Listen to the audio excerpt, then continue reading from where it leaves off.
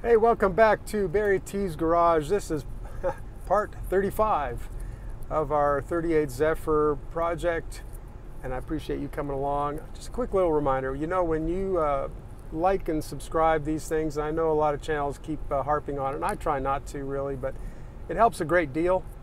And some people have asked me about subscriptions. You know, what does that cost me? And, and really, it doesn't cost anything. It's just simply uh, that it'll put a send a reminder to you or, or put us on your list. And if you hit the bell to be alerted all the time, then uh, it'll it'll kind of show up more readily for you when we post a new episode. So just for those that were wondering about that, that's how that works. All right, the Zephyr is uh, getting a little more work done on the brakes and suspension.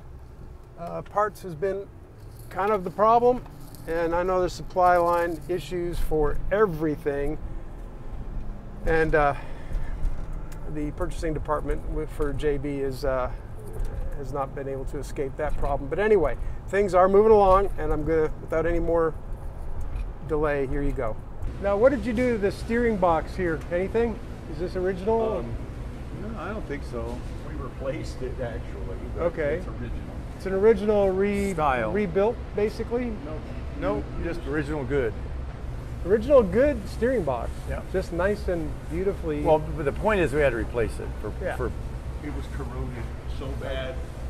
it we had to buy move. another one. okay, Get another one. I got you.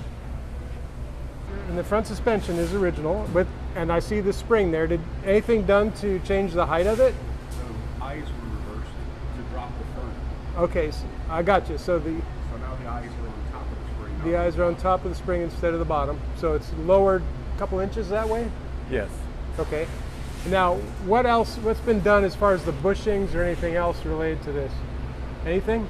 Uh, new kingpins and kingpin bushings for the for the, And replace the rubber uh, the in the 41 pivot point. spindles. And Had so get this, that's this is- really hard to find. There's a rubber bushing inside yes, this. inside that thing, but it's Okay. incredibly Okay. hard to find. Okay. Original, original That's only. because the whole front suspension is Right, pivoting right that's- here. That's right. Okay, so I it's got got to you. be in something And other that than. cross member's been dropped two inches Oh, to make room for the C4 transmission. right. So this is dropped exactly. Of course. So now the transmission will clear the floor. Transmission will clear the floor. You can put the floor back, and you can see right down the throat of this to For your drive shaft, no more the torque, drive shaft. no more torque tube. north. Okay, so important upgrades. Yeah. It's Now all, let's- it's all let's- brand new technology, basically. and- Let's go back to the brake system here. This was a hydraulic, I mean, I'm sorry, this was a mechanical braking Correct. vehicle, but now we see a hydraulic lines coming out of the side there to a flex Could you line. name an application for this is the same as Camaro or Oh, these pick are, a these Ford? are like a Granada rotor and caliper. on Okay. it, and the spindle would not accept it off the 38. So Okay. this is now a 41 Ford passenger car spindle, Okay, which will accept the rotor and the caliper bracket. okay. But but even though it's later model and you put hydraulic system on it with calipers and ro- a rotor, uh, you're still going to put the 38 wheels on it. Correct. So, so you have So you we have an adapter that has to go on the outside Ah, to accept the right. wider bolt pattern on the wide five Okay. wheels, which Yeah, so came originally on this, and we want to preserve that. It's a lot of work, but it's it's a big part of the look of a 38. Sure. So you're modernizing it like crazy behind the And wheel, then we got to reverse back. but you still got to reverse it to Right. make it Exactly. get that look. Cool. This car is going to have its own hubcaps too. Oh, right Completely, on. totally unique to this car. And they'll be identified as V12. A V12 hubcap. That's correct. Wow. Very cool. So, Spider hubcap, no less. so when the when the owner is taking care of this, these are they're going to know available. readily available. You can do the servicing, the Crosses over to a lot of different modern cars. Okay. and all the part numbers and all of the things that he needs to know with respect to getting new brake calipers or new discs is is uh, is going to be in the folder he's presented with at time of delivery. Very good. All right, so that takes care of the front end. What's been going on in the back? Can we talk about that? right back here.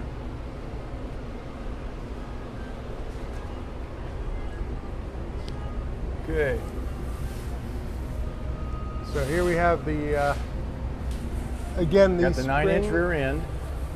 It's been fitted to where the, the earlier rear end used to be. right? All right, now these uh, springs, we took a couple, uh, reversed the positioning of the springs such that when you do that, the car drop automatically drops down, but you preserve the original spring. Yep. Springs on these things were uh, very well designed, and they're they're tied into the weight and the performance of the car, so they don't need to be thrown away and replaced because now you're trying to re-engineer something that was already engineered properly, and that's so Right. we, we're trying to preserve as much of the original car that, that makes sense, and then Yep. update it so it can live in the modern world. Okay, so uh, I'm seeing got the hydraulic lines run back. Right. So they're getting ready to be hooked up. And I guess, uh, now what about these? No, those are the ladder bars that that uh, control the rear end. Okay. They have to be able to pivot, and they have to be redesigned and rewelded to the the rear end case at the right attitude so that it heads for that mount point. So Okay. these are made separately, and then the, and then they're cut and laid into position, and everything is laid out. Then it's tack welded, and then it's finish welded so that everything aligns perfectly with where it's going to wind up. Okay, now what did the original car have? Well, the original car was just a you know just a spring. Okay. It, so it didn't nothing- have it these didn't ladder. require this sort of thing. This is for uh, for a nine-inch Ford Okay. style rear end. Gotcha. It's a different different concept. Right. And it had remember it had a torque tube. Right. So the torque tube positions everything, keeps it straight, but it's also uh, difficult to maintain, difficult to service. Right. There's nothing really wrong with it. It's just it's just more work and more uh, things to concern yourself with. This one will have a standard style uh, drive shaft that you could buy at any drive shaft store. If, if Yep. you if you the bushings go out of it, uh, even the whole drive shaft goes away at some point. You can just take it down and hand them that one, and they'll hand you another one. Right on. Okay, so and I think you mentioned earlier that the drive shaft to be kind of the last thing. Everything else. Yeah, you want everything positioned and sitting where it's going to set, and then you measure the the, the, the the drive shaft connects the front of the car to the back of the car. Sure. So there's no point in doing that until the tail end because when the car is sitting on the ground, we have an accurate measurement. Then we can just call in the dimensions for the drive shaft. it's Right all on. common off-the-shelf stuff now. Mm-hmm. So all we all he wants to know is what's the center to center dimension on the drive shaft itself.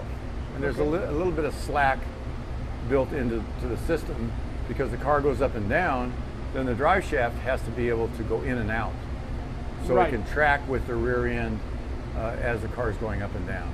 I guess the engine and transmission are going in kind of as one piece. Is that what happens Correct. next? Yeah, exactly. Okay. And we made some headway on that recently. So hopefully the engine, about the time we have uh, all the underpinnings of the car in place, we'll be ready to, to mock up the motor. We already mocked it up with a with a mock-up V12, but Yeah. we'll start considering putting in the uh, the, the motor that it's going to live with, and uh, then we're going to we're building the firewall cover for the inside to insulate the inside of the cab and Yep. clean up the firewall on the inside a bit. And when the motor is in place, then we'll start installing the, the various ways the motor communicates with the dash.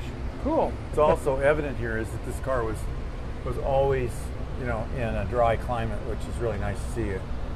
Yeah, it's it's Uh, it's an incredible in- shape. Yeah, it really is. I mean, all we had to do was white metal blast it and undercoat it. Very, very little in the way of uh, metal replacement. So that was nice. Thanks Yeah. again for following along. We'll keep you posted on this project.